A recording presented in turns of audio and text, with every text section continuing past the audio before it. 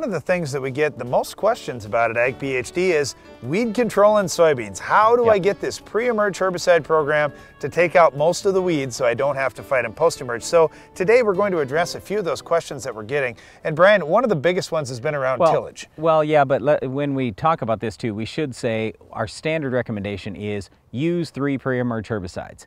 And a lot of people think, oh, oh well, that's on, crazy hold on, expensive. Use three effective modes of action pre. Good point. And what, what happens a lot is guys say, well, I have three different things out here. Sure, but one of them is an ALS and one of them is Roundup. And neither one of those two are working on quite a few weeds out there. Right. So, so we need to have one. three different things that work. Right. And and here's the challenge though, Brian, is, is back to this tillage question. Yep. I've got guys in conventional till that say, Yep. hey, I want to work on some trifluralin and I like to dig that in fairly deep. Can I do that with something like Authority MTZ, which would have a PPO and metribuzin? Okay, can you do it? Yes. Is it going to be super effective if you go deep? Probably not. So what I would suggest is if you want to disc, I'd probably disc first with the trifluralin or Sonalan for that matter, either one is fine. And then come later, you're going to have to do something other than just disc. You're going to field cultivate, let's say. Okay, well then you can put the metribuzin and the authority on with field cultivator. I'll just tell you, uh, in our own operation, we'll put all three on right in front of the field cultivator. So yes, the trifluralin, I'd kind of like it a little bit deeper, but that's good enough. We're gonna clean up a little bit of grass later on with Roundup. I'm not that worried about it, but understand trifluralin's pretty good on many of the Roundup resistant broadleaf weeds, including Palmer pigweed. All right, now from the no-till guys, one of the common concerns that they have is, am I digging too much dirt out with the planter? If I put my pre's out ahead, okay. am I gonna have weeds in the row? That very well could be a problem. So if you are moving a lot of dirt with your planter, you should probably spray right after you plant. Now, unfortunately, Prowl is the only product you can use in no-till. You can't use trifluralin or Sonalan and Prowl isn't labeled north of I-80. Check the label. They may change things by spring, who knows. And the reason why is because if you get too much Prowl there and you have a big rain right as the plant is emerging, you actually can cause a problem with the stem. All right, now a couple of questions oh, about... hey, one thing I should say too, if you can't use Prowl, then the next best bet is to use a Group 15 like Dual or Residual. I do prefer that you save those for post. The yellows can't be used post but the group 15s can be used post. So we'd rather see you use the three pre's, uh, PPO, metribuzin, and a yellow, followed by early post group 15. Okay, rates, Brian. A couple of yep. questions that we get frequently. One is metribuzin. I haven't used metribuzin okay. for 20 years. Now you're telling me to use it again. What rate works for my soils and how do I know how to determine that? Well, first of all, you can look on the label. Label's the law, so follow that.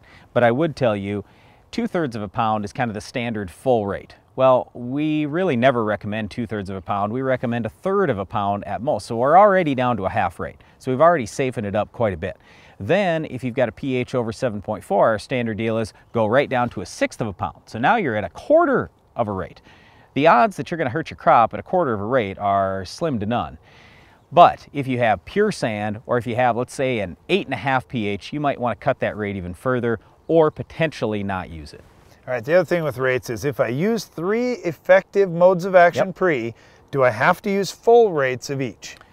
Well, you want to get great weed control. So you want to use as much metribuzin as you can, for example. If I have a soil pH of 6.5, there's no question I'm using a third of a pound because that'll give me more weed control than a sixth of a pound. The reason why we talk about cutting rates in high soil pHs is a sixth of a pound in a high soil pH will work the same as a third of a pound in low pH. It's just more active in that high pH. But yeah, if we talk about, okay, well, Valor, I can use two ounces or I can use three ounces, what am I gonna do? If I got a serious problem with kochia, water hemp, Palmer pigweed, whatever, any of these weeds that, you know, Valor's good on at two ounces, it's great on at three ounces, guess what I'm gonna do? I'm probably gonna go with that higher rate.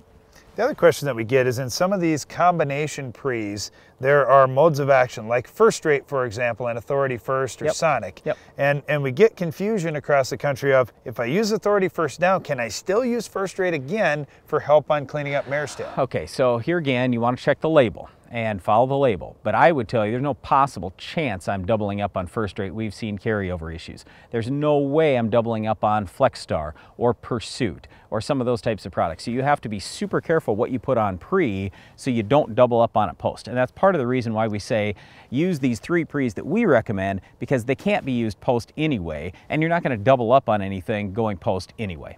And last question I've got is rainfall. How much rainfall does it take to activate incorporated pre's versus pre's that are laid on the soil surface? It's going to take less if you incorporate it. So if you aren't going to incorporate, we would suggest putting it on as early as possible so you have more chance for rain. It doesn't take a lot of moisture in the soil to get these things somewhat activated. It does take a fair amount of moisture to get any residual herbicide super activated. Using three effective modes of action, pre-emerge on soybeans has dramatically improved weed control across the country. We'd encourage you to try it on your farm. One of the weeds that it may help you with is our weed of the week. We'll show you what will control this weed coming up next.